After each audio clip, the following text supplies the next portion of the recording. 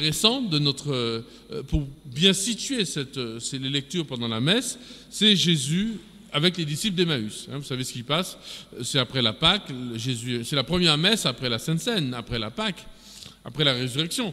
Voilà, ils s'en vont, ils sont tristes, Jésus les accompagne sur leur route, et voilà ce qui se passe. Jésus leur dit, ah, esprit sans intelligence, comme votre cœur est lent à croire tout ce que les prophètes ont dit. Hein, c'est pour ça qu'il faut venir à la messe tous les jours et tous les dimanches, parce que notre cœur est lent à croire. Sinon, il suffirait d'écouter la messe en la Bible, pardon, à la Bible lue, hein, ça prend quelques heures, mais enfin bon, ça suffirait. En une semaine, ça passe, et puis c'est bon. Non, notre cœur est lent à croire. Ne fallait-il pas que le Christ souffrit pour entrer dans sa gloire? Et écoutez ce verset 27, donc Luc 24, 27. En partant de Moïse et de tous les prophètes, il leur interpréta dans toute l'écriture ce qui le concernait. Très intéressant. Donc il va balayer toute l'écriture pour parler de lui, du Christ, de sa résurrection, de sa mort, de sa résurrection, donc du kérigme. Hein. Alors, revenons au signe. Qu'est-ce qui se passe? Écoutez la présentation du général du missel romain. Donc, vous savez, c'est ce, texte qui est au début du missel qu'il faut avoir lu. Messieurs les cérémoniaires, les servants d'hôtel, les sacristines, les choristes, enfin tout le monde là, tout ça qui allait tous les ravets de l'église en général, il faut avoir lu la présentation générale du missel romain. Prière d'ouverture. La prière d'ouverture étant achevée, dit la présentation, c'est un peu l'introduction du missel. Tous s'assoient. Le prêtre peut, en quelques mots très brefs, introduire les fidèles à la liturgie de la parole. Le lecteur se rend à Lambon et lit euh, où le lectionnaire est déjà placé avant la messe. Hein. le lectionnaire est placé avant la messe. Ce qu'on porte en procession, ce n'est pas le lectionnaire, c'est l'évangélien. Ce n'est pas la même chose. Hein. c'est un autre livre où il n'y a que l'évangile. Donc le lectionnaire est placé. La première lecture, tout le monde écoute. Un temps de silence. À la fin, on dit verbum domini, on répond Ah ouais, il y a du travail. Hein verbum domini Hein oh, Voilà, on répond nous rendons grâce à Dieu. Voilà. En latin, Deo gratias. Hein verbum domini, Deo gratias. Parole du Seigneur. Donc il y a un dialogue. Hein voilà. Après, on fait un silence le psaume est chanté, on verra tout à l'heure, où le peuple répond par un refrain. Et puis ensuite, deuxième lecture, dans les mêmes conditions à Lambon, et après on peut faire un petit temps de silence aussi. Donc, cette étape, encore une fois, lecture, dialogue, nous rendons grâce à Dieu, enfin, le parole du Seigneur, nous rendons grâce à Dieu, silence, psaume, lecture, dialogue, silence. Seule la parole de Dieu doit être lue à la messe. On ne lit pas un texte très beau de, de, Mère Teresa, de Monseigneur Macaire, de qui vous voulez. C'est la parole de Dieu seulement qui est lue. Puis on évite de faire un commentaire de, trois minutes avant chaque lecture aussi. Hein. C'est la parole de Dieu qu'on écoute. C'est vraiment un acte, c'est un acte saint. J'y reviendrai plusieurs fois, donc je ne vais pas insister tout de suite. Ensuite, le psaume. Le, psaume est important parce qu'il va favoriser la méditation de la parole. Il correspond à chaque lecture. Hein. il correspond aux lectures. Hein. il a été choisi pour ça. Alors on peut prendre des graduels qui sont aussi dans le missel ou des versets alléluiatiques. Euh, surtout en temps pascal, on prend juste un alléluia avec un verset, on reprend l'alléluia parce qu'on est au temps pascal. Mais tout ça est prévu dans le missel. Et tout ça sort de la Bible et, choisi euh, à dessein pour exprimer le mystère de la messe qu'on est en train de célébrer. Il importe que le psaume soit chanté, ou du moins pour ce qui est de la réponse du peuple. Alors parfois on ne peut pas le chanter, on va le dire, euh, mais le peuple doit répondre. Alors je trouve bizarre que les organistes en Martinique, l'organiste, c'est mieux de ne pas avoir trop de musique non plus, parce que c'est un temps de méditation. Mais normalement, le clavier joue. Je trouve dommage que le, clavier ne joue pas doucement pendant que le lecteur, le psalmiste, proclame le psaume. et là, tac, ça s'arrête. Et là, le lecteur lit avec plus ou moins de poésie. Ce serait beaucoup plus beau sur le psaume que l'on continue à jouer derrière. Alors ça, je, trouve que le soufflet retombe. C'est un, un chant. Le psautier, c'est le livre de chant de la Bible. Hein. Dans la Bible, il y a un livre de chant, comme nous on a des livrets de chant. Eh dans la Bible, c'est le psautier, c'est ce que les, Juifs connaissaient ou chantaient dans leur liturgie.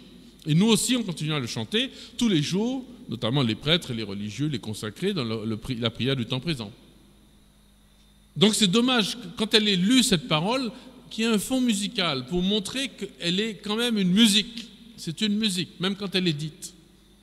Tout doucement, bien sûr, évidemment, si, le pianiste joue plus fort que la parole, ça ne va pas. Par contre, on ne remplace pas le psaume, euh, par un chant, un cantique qu'on aime bien, ou par le psaume de la création qui n'est pas un psaume. C'est une chanson qu'on a appelée le psaume de la création. J'avoue que c'est l'une de mes chansons préférées, l'un de mes chants préférés. Je l'ai choisi pour mon ordination euh, euh, épiscopale il y a quelques années. Mais ce n'est pas un psaume. On ne remplace pas la parole de Dieu par quelque chose qui est très beau, mais qui a été inventé après. Là, c'est la parole de Dieu qui a tout son euh, comment dire, toute la place à ce moment-là. Le psaume de la création, on peut le chanter en offertoire, en chant de sortie, en chant d'entrée, comme vous voulez. On a assez de place et de latitude pendant la messe pour le faire. Ensuite, toujours dans les signes, là c'était quoi? Maintenant comment? Alors ça c'est important. D'abord c'est une proclamation. Ce n'est pas une lecture simplement, c'est une proclamation. Mais la proclamation va en même temps qu'une écoute. Ce sont deux actes. Il y a quelqu'un qui fait un acte qui va proclamer plusieurs personnes. Un lecteur, un, chantre, un psalmiste, un, diacre ou un prêtre qui lit l'évangile. D'accord. Donc proclamation d'un côté, écoute de l'autre. Vous voyez, on est déjà dans la structure dialogale qu'on a vue depuis le début de la messe. C'est un acte d'écouter les, les, lectures, la proclamation. Dieu émet, il y a un émetteur, il y a un récepteur. Voilà. S'il n'y a pas de récepteur, on ne capte pas. Hein, les jeunes comprennent ça très bien. Hein. Il y a du réseau, mais mon téléphone, il ne capte pas. Hein, voilà, raté. Ou mon téléphone, il capte, mais il n'y a pas de réseau. Bon. Ben, Dieu, c'est le réseau. C'est le gros Wi-Fi. Non.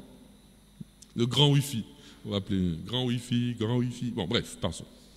Je suis de bonne humeur aujourd'hui, vous avez vu. Alors, mais entre l'émetteur et le récepteur, il y a un certain nombre de médias, d'outils Premier média, le texte. Le texte qui est écrit. C'est un, un outil pour transmettre la parole. Attention, mais c'est une parole, ce n'est pas un texte. L'écrit est un écrit qui manifeste qu'il y a un auteur quand il y a un écrit. Hein. c'est qu'il y a un auteur. Il y a quelqu'un qui a l'autorité, qui a écrit, ou plutôt qui a parlé, et cet écrit manifeste l'autorité suprême de Dieu et du prophète qui a rédigé, du scribe. Ensuite, deuxième média, après l'écrit, il y a quelqu'un qui lit, une lecture unique et solennelle. Ce n'est pas chacun, ce n'est pas des petits groupes de lecture à la messe. Ce n'est pas le moment. Il y a des moments où dans la, vie de l'Église, on fait des petits groupes de lecture, des groupes de combat, des groupes de, etc. On prend son temps, ou tout seul, on lit sa lecture dans la lecture divina. Très bien. La messe, ce n'est pas une somme de lecture divina. C'est une proclamation publique. On écoute tous ensemble et une lecture solennelle. Donc il y a un autre outil, c'est la bouche qui, à voix haute, hein, une bouche qui à voix haute va proclamer cette lecture. Ensuite, ça se passe dans un moment précis, dans un contexte, dans une cérémonie, dans une euh, célébration. Il y a quelque chose qui va être publié comme une publication. Publié, c'est-à-dire c'est public. Tout le monde doit écouter. Hein, Ce n'est pas confidentiel. Une publication officielle comme on publie une loi, parce que c'est une loi qui est proclamée, une loi d'amour, mais une loi quand même. C'est-à-dire c'est un texte normatif, qui est normatif de notre foi, normatif de notre, comportement, de nos mœurs. Normatif, c'est-à-dire qui donne des normes, des règles. C'est une règle de vie, la parole de Dieu. Donc elle est proclamée à tout le monde. Elle n'est pas simplement un texte, euh, une lettre d'amour entre, entre, un bien-aimé et sa bien-aimée, je t'aime, etc., comme, euh, voilà, machin. Non, c'est bien une, loi que Dieu proclame sur moi. Hein, euh, Cantique 2, 4, hein, ta loi, ta bannière sur moi, c'est l'amour. Hein. c'est une bannière qui est développée sur une assemblée, une bannière spirituelle. Il faut donc un public. Si c'est publié, ce public, c'est un peuple en famille, en, église, en peuple, un peuple assemblé, une communauté. En fait, c'est une famille, hein, qui est le fameux récepteur. Dieu parle à un peuple. ne parle pas d'abord à moi, il parle d'abord à un peuple. Il parle à un peuple. Et je suis le destinataire, les personnes sont destinataires. Après chaque lecture, le lecteur dit une acclamation à laquelle le peuple répond assemblé. Il accorde ainsi honneur à la parole de Dieu qu'il accueille dans la foi et dans un cœur reconnaissant. Hein, Ce n'est pas pour rien qu'il y a parole du Seigneur, verbum domini, Deo gracias. Un petit mot sur l'écoute. Enfin, un petit mot, un grand mot, mais il sera bref. Euh, s'il y a proclamation, il y a écoute. L'écoute est un acte, et c'est l'acte premier de la foi. Écoute Israël. Écoute Israël. Hein. C'est l'acte numéro un de la foi chrétienne. Et de la foi tout court. Euh, Deutéronome 6, 3, mais aussi Romains 10, 17. La foi naît de l'écoute. C'est quand tu écoutes, mais bien sûr, c'est l'écoute avec le cœur. C'est l'écoute, c'est pas simplement entendre des sons, c'est accueillir. Écoute, c'est un acte d'amour, comme quand un père dit à son enfant ou une mère, tu m'écoutes? Est-ce que tu m'écoutes? Ça veut dire, est-ce que tu m'aimes finalement aussi? Est-ce que tu as confiance en moi? Écoute Israël. Donc c'est cet acte que nous faisons à la messe. Alors, est-ce qu'il faut lire en même temps avec son texte? Parfois, on a de mauvais lecteurs, ou certaines assemblées aiment bien. Pourquoi pas? On a publié la Bible en nous un peu pour ça. Hein. Elle est, c'est le texte, justement, de la proclamation, la Bible en nous. Hein. c'est le texte qu'on entend à la messe. En même temps, euh, ce n'est pas une série de lectures où chacun lit dans son coin. C'est une lecture commune. Il vaut mieux avoir lu avant. Il vaut mieux avoir lu avant Bon, on fait de son mieux, mais ce n'est pas un temps d'étude personnelle de la parole, c'est un temps où on écoute ensemble, où on s'unit à ceux qui sont à côté de nous pour...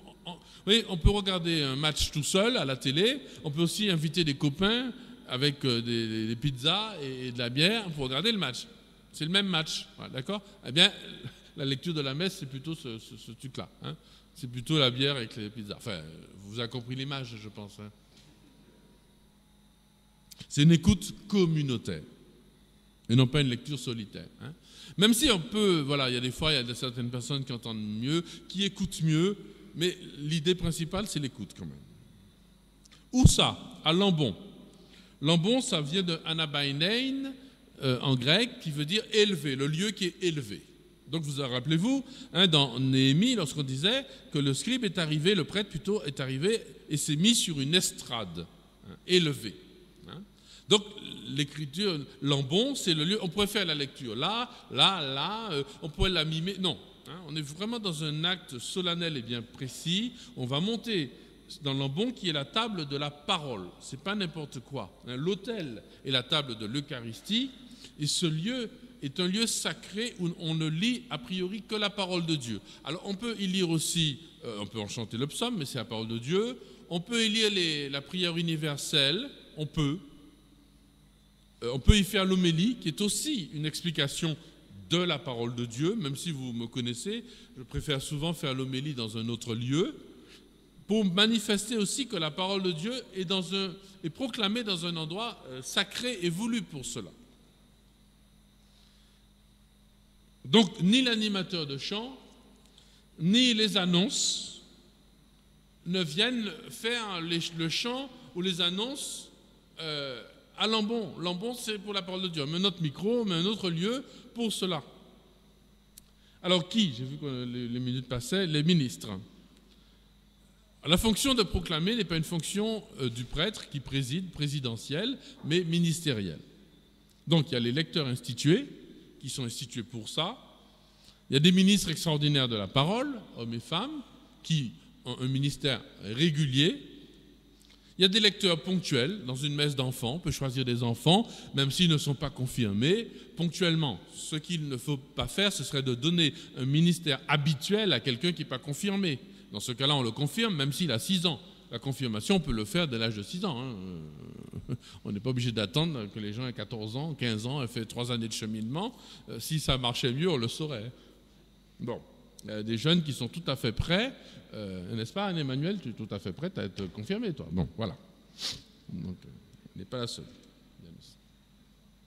Donc, la confirmation, l'Église peut la faire quand elle veut. Bon, ici en Martinique, c'est vrai, on fait le cheminement, c'est une bonne chose, ça permet aux jeunes de grandir et de, le faire de façon plus consciente. Mais on peut confier ce ministère. Parfois, des couples aussi viennent faire. Bah, quand, l'un des deux a ce ministère, on vient en couple, c'est pas mal, c'est un beau signe. Bon. Ministère veut dire service. Alors, je vais m'arrêter un instant là-dessus. C'est pas juste technique de faire la lecture. Si on a un acteur euh, célèbre qui est dans l'assemblée euh, et qu'on lui demande de faire la lecture, c'est pas simplement parce qu'il a une bonne diction. Il faut d'abord avoir une bonne réputation et un bon comportement. on ne demande pas d'être parfait, personne ne l'est, moi je ne le suis pas. Hein, alors donc euh, bon. Mais avoir quand même une bonne réputation. Si on sait que c'est quelqu'un qui, court derrière les gens avec un coutelas tous les jours, ou qui injurie les uns les autres, c'est pas la peine qu'il fasse la lecture à la messe. Il attendra un petit peu. Hein La personne doit avoir une vie théologale, c'est-à-dire faire de son mieux pour prier, pour lire lui-même la parole, elle-même la parole de Dieu. Qu'il y ait une réflexion, un engagement personnel, parce que monter à l'embon pour lire la lecture, c'est un témoignage. C'est valable pour les chantres aussi, hein, mais j'en ai parlé euh, euh, avoir une certaine tenue, évidemment, on ne va pas habiller n'importe comment, même si ce n'est pas l'essentiel, mais c'est important. Alors j'ai entendu dans une euh, qu'il ne fallait pas que le lecteur regarde l'assemblée. Il fallait qu'il lise. Euh, jamais entendu quelque chose de plus bête. le lecteur peut lire, regarder l'assemblée, même s'il ne doit pas manifester. Par contre, il doit être humble. S'il fait comme si c'est son texte à lui, non, c'est le texte du bon Dieu. Donc il doit être humble ni l'orgueil du pharisien, ni une sorte d'orgueil du pécheur qui lit quand même le texte, même s'il n'est pas. Qui dit ministre, donc dit d'abord ce lien et aussi, et c'est important, une certaine compétence. Avoir une voix posée, c'est-à-dire avoir travaillé sa voix. Parce que vous allez servir de, de de porte-parole au bon Dieu quand même. Je ne comprends pas comment dans n'importe quel spectacle de maternelle, les gens savent parler, savent utiliser le micro, alors que chez nous, les trois quarts du temps, la personne arrive, elle a 2 mètres, le micro est à 1 mètre 50, elle a 1 mètre 50, le micro est à 2 mètres, elle commence à lire la parole sans même regarder où est le micro, etc. Il y a un certain nombre de compétences. Comment se mettre tout près du micro, ou bien au contraire, se mettre trop loin, on n'entend rien. Voyez, c'est une compétence, c'est pas grand-chose comme compétence, mais quand même, c'est la parole de Dieu que l'on sert. Pourquoi dans nos églises, il y a toujours un problème? Peut-être que le Seigneur ne veut pas qu'il y ait des micros dans nos églises d'ailleurs. Après tout, la messe, c'est pour le bon Dieu, pas pour nous. Mais les, lectures, c'est quand même pour nous. Ce passage-là, c'est pour nous. Donc il faut que les lecteurs, enfin avant de monter à l'embon, on dit, ah oui, parfois on me demande à la dernière minute, eh bien, ça t'apprendra, ça qu'apprend d'où? La prochaine fois que tu viens à la messe, même si on ne te demande pas, entraîne-toi déjà à avoir lu la parole. On ne sait jamais si on te demande, si on t'appelle. Hein? Donc poste de voix, diction, ce n'est pas du théâtre, ce n'est pas non plus une dictée de CM2. Tout le peuple, en Martinique, tout le peuple se rassembla comme un seul homme. Ce n'est pas non plus une dictée de CM2. Hein? Pardonnez-moi. Il me dit quelque chose de il faut faire de beaux silences, avoir une voix posée, s'être entraîné, s'être écouté, pourquoi pas avec un dictaphone, un truc comme ça, pour voir ce que ça donne. Euh, surtout si on vous demande ce ministère de façon régulière. Il faut aussi connaître le déplacement liturgique, comment on se déplace, puisque le lecteur doit se lever dans l'assemblée. Il peut être au fond, c'est pas, pas moche d'avoir un lecteur qui se lève depuis le fond et qui vient faire la lecture. Encore faut-il qu'il sache marcher au bon moment, arriver, ne pas laisser, voilà. Euh, il faut avoir un peu de connaissance biblique. Parfois, il y a des mots compliqués. Vous savez, dans la lecture de la Pentecôte, il y a toujours quelqu'un qui dit euh, les partes, les médès, et les voilà, c'est les Parthes, les Mèdes, les Mésopotamiens, etc. Il faut connaître un peu, il y a des mots compliqués, parfois des noms propres, etc. Bon. Donc il faut avoir mis en bouche cette parole avant de la lire. Il faut qu'elle soit, qu'elle soit passée par. C'est pas simplement de la lire comme ça. Non, il faut l'avoir dite, prononcée, si tu préfères. Voilà. Et c'est le rôle des lecteurs institués d'entraîner les lecteurs euh, extraordinaires. Alors je vois que l'heure va bientôt arriver, donc je vais me dépêcher pour la fin. Je vous demande pardon. J'ai plein de choses à vous dire. D'abord, la théologie. Il faut lire la Bible avec la Bible. C'est-à-dire que la liturgie a fait un choix. Quel est ce choix? Parce qu'il y a plein d'interprétations de la Bible. On peut interpréter la Bible euh, de façon historico-critique en comparant avec l'histoire de l'époque, de façon littéraire, avec des sciences humaines, de la psychologie, de la sociologie. Il y a même euh, le, féminisme, etc. Euh, par exemple, la Tour de Babel. Quand vous lisez la Tour de Babel après le 11 septembre 2001, Évidemment, vous ne pouvez pas ne pas lire ce texte de la tour de Babel en pensant à l'effondrement des tours du World Trade Center, le centre mondial du commerce qui s'est... Tiens, c'est bizarre, il y a là euh, une lecture particulière et de l'événement, et voilà. Il y a toutes ces lectures. Mais le bon Dieu, euh, l'Église et la Bible elle-même génèrent une lecture qu'on appelle la lecture de la Bible dans sa tradition. C'est-à-dire que la Bible se lit avec la Bible en rapprochant des textes de l'Ancien et du Nouveau Testament et de l'Évangile, on comprend et le texte de l'Ancien Testament et le texte du Nouveau. Par exemple, quand on entend euh, dans le